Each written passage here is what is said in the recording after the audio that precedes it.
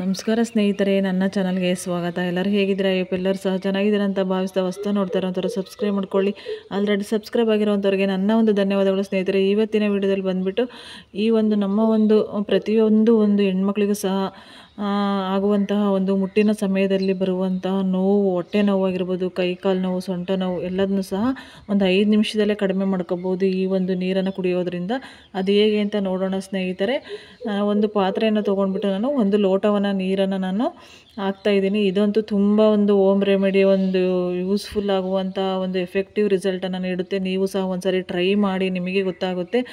ಎಂಥದ್ದೇ ಹೊಟ್ಟೆ ನೋವು ಇರಲಿ, ಸಂಕಟ ಆಗ್ತಾ ಇರೋದು, ತಲೆ ಸುತ್ತು ಬಂದಂಗೆ ಆಗ್ತಾ ಇರೋದು ಇದೆಲ್ಲ ಕಡಿಮೆ ಆಗುತ್ತೆ ನೋಡಿ. ನಾನೀಗ ನೀರನ್ನು, ಒಂದು ಲೋಟ ನೀರನ್ನು ತೊಗೊಂಡ್ಬಿಟ್ಟು ಒಂದು ಸ್ವಲ್ಪನೇ ಜೀರಿಗೆಯನ್ನು ಹಾಕ್ತಾಯಿದ್ದೀನಿ ಪೌಡರ್ ಏನು ಬೇಕು ಪೌಡರ್ ಹಾಕುವಂಥ ಅವಶ್ಯಕತೆ ಇಲ್ಲ. ಜೀರಿಗೆಯನ್ನು ಹಾಕಿದರೆ ಸಾಕು.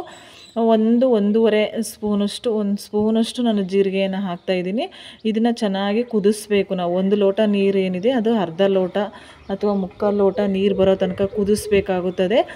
ಕುದ್ದ ಮೇಲೆ ಕಲರ್ ಎಲ್ಲ ಚೇಂಜ್ ಆಗುತ್ತೆ. ಇದಕ್ಕೆ ಏನನ್ನು ಸಹ ಮಿಕ್ಸ್ ಮಾಡೋ ಅವಶ್ಯಕತೆ ಇಲ್ಲ. ಬರೀ ಜೀರಿಗೆ ನೀರು.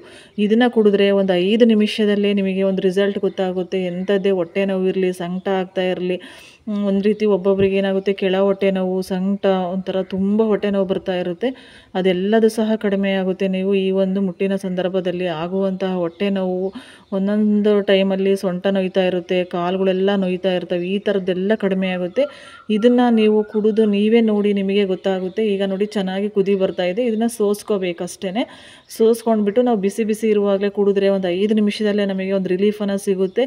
ಇದನ್ನು ನಾವು ದಿನದಲ್ಲಿ ಒಂದು ಎರಡು ಸಾರಿ ಅಥವಾ ಮೂರು ಸಾರಿನೂ ಸಹ ಜಾಸ್ತಿ ಸಂಕಟ ಆಗ್ತಾ ಇದ್ದರೆ ಎರಡರಿಂದ ಮೂರು ಸಾರಿ ಕುಡಿಬೋದು ಸ್ನೇಹಿತರೆ. ನೀವು ಒಂದು ಸಾರಿ ಟ್ರೈ ಮಾಡಿ ತುಂಬ ಒಂದು ಒಳ್ಳೆಯ ಒಂದು ಎಫೆಕ್ಟಿವ್ ಆಗಿರುವಂಥ ಹೋಮ್ ರೆಮಿಡಿ ಅಂತ ಹೇಳ್ಬೋದು. ನೀವು ಟ್ರೈ ಮಾಡಿ ನೋಡಿ ನಿಮಗೆ ಒಂದು ರಿಸಲ್ಟ್ ಸಿಕ್ತು ಅಂದರೆ ನೀವು ಕಮೆಂಟಲ್ಲಿ ನನಗೆ ರಿಪ್ಲೈ ಮಾಡಿ ಸ್ನೇಹಿತರೆ ಹಾಗೆಯೇ ಒಂದು ಎಂಥದ್ದೇ ಒಂದು ಆಗಿರ್ಬೋದು ಸುಸ್ತು ಒಂದು ರೀತಿಯಲ್ಲಿ ಸಂಕಟ ಆಗ್ತಾ ಇರುತ್ತೆ, ಅದೆಲ್ಲನೂ ಕಡಿಮೆ ಆಗುತ್ತೆ ಅಂತಲೇ ಹೇಳ್ಬೋದು ನೋಡಿ, ಈಗ ಇದು ಅರ್ಧ ಲೋಟ ಆಗಿದೆ, ನೀರು ಕಲರ್ ಎಲ್ಲನೂ ಚೇಂಜ್ ಆಗಿದೆ ನೋಡಿ, ತುಂಬ ಚೆನ್ನಾಗಿರುತ್ತೆ ಕುಡಿಯೋದಕ್ಕೂ ಅಷ್ಟೇ ಒಂದ್ಸರಿ ನೀವು ಟ್ರೈ ಮಾಡಿ ಅಂತ ಹೇಳ್ತಾ ಸ್ನೇಹಿತರೆ, ಇದು ಎಂಥದ್ದೇ ಆಗಿರುವಂತಹ ನೋವು ಎಲ್ಲನೂ ಸಹ ಕಡಿಮೆ ಮಾಡುತ್ತೆ. ಈ ಒಂದು ಜೀರಿಗೆ ನೀರನ್ನು ಕುಡಿಯುವುದರಿಂದ ಅಂತ ಹೇಳ್ತಾ ಸ್ನೇಹಿತರೆ, ಈ ಒಂದು ವಿಡಿಯೋವನ್ನು ನೋಡಿದ್ದಕ್ಕಾಗಿ ಎಲ್ಲರಿಗೂ ಧನ್ಯವಾದಗಳು. ವಿಡಿಯೋ ಇಷ್ಟ ಆದರೆ ಒಂದು ಲೈಕ್ ಮಾಡಿ.